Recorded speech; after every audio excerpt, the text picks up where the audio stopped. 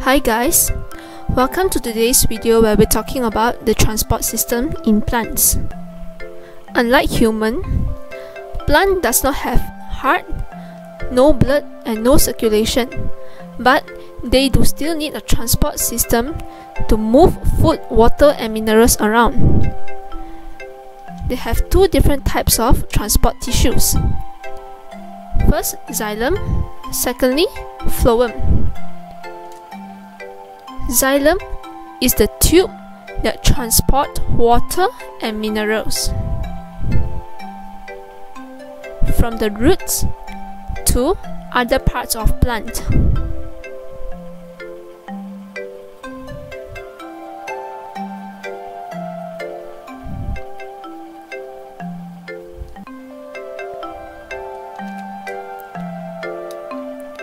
Phloem functions to move the sucrose and amino acids from the leaves to other parts of plants. The nutrient-rich regions that supply sugars for the rest of the plant are called the sources. Sources include the leaves, where the sugar is generated through photosynthesis. And the leaf is regarded as the sources because it is a region with high sugar concentration and the sugar will be transported to the sink which are the area of low sugar concentration such as the growing tissues and roots.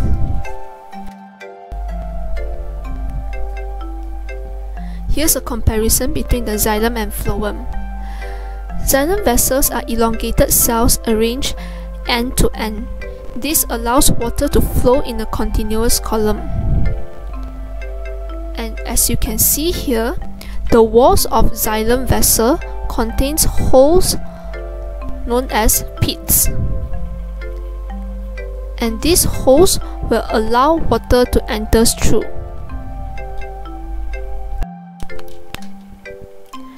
A mature xylem consists of elongated dead cells arranged end to end to form a hollow and continuous tubes for the water column to pass through. Remember, xylem is very strong.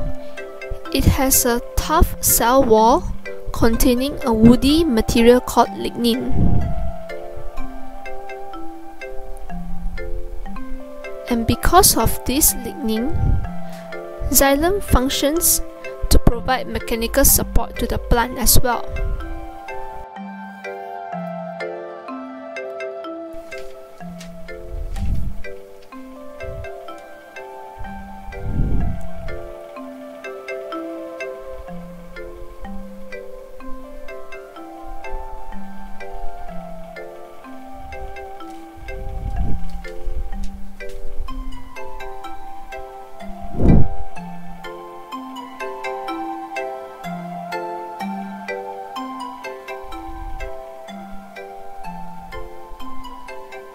Remember, xylem is a hollow tube consists of dead cells with no cytoplasm.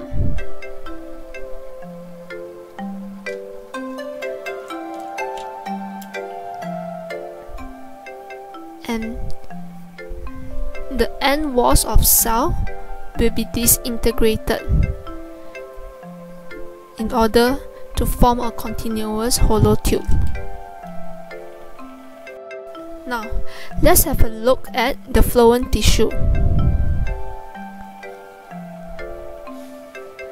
Unlike the xylem, phloem tissue is made up of columns of living cells joined end to end, which contains strands of cytoplasm but no nucleus.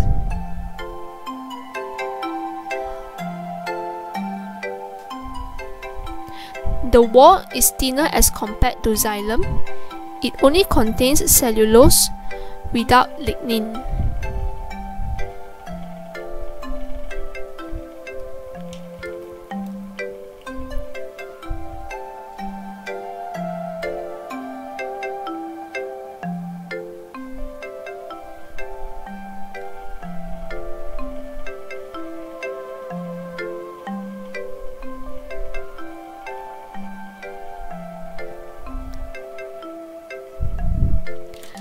End walls of the cell that make up the phloem tissue is perforated by pores and this structure is known as sieve plates.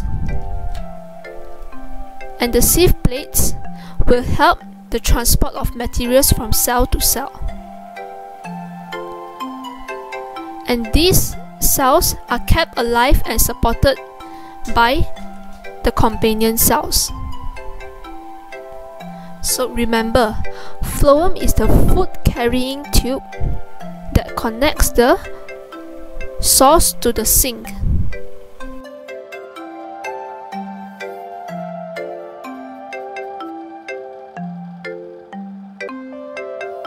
Now, let's look at how the tissues are arranged differently in different parts of the plant.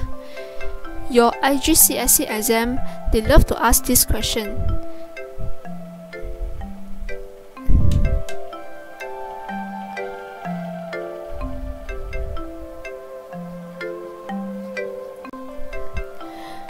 Reason that they are arranged differently in different parts of the plants is because of the xylem cell. Xylem cells have extra reinforcement in their cell walls, which is the lignin, and this will help to support the weight of the plant.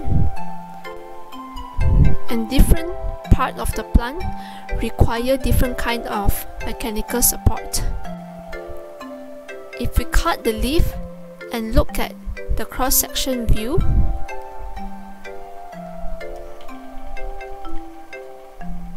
the tissues will look like this.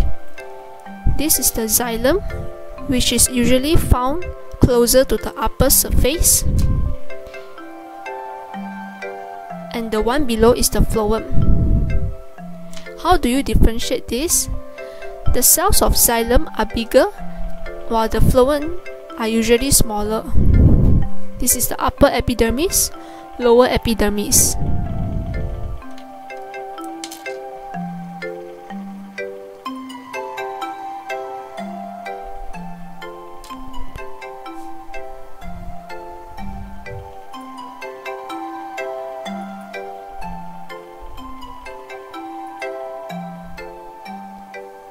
If we cut the stem and look at the cross section, the xylem and phloem are arranged in bundles near the edge of the stem. And this is to resist the compression and bending forces. The one nearer to the inner part is the xylem. Outer part would be the phloem and in between these two, there is a vascular cambium.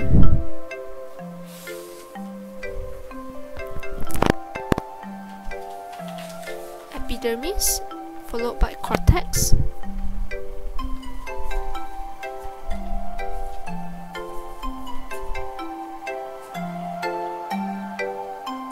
Take a cross-section look at the root, this is the epidermis and they have very specialized cell which is known as root hair cell followed by cortex. You will find that the xylem and phloem is arranged at the center of the root. This is to withstand the stretching forces to prevent the plant from being pulled up from the ground.